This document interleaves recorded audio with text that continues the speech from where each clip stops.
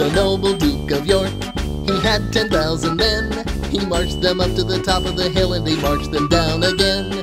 Oh, when you're up, you're up. And when you're down, you're down. And when you're only halfway up, you're neither up nor down.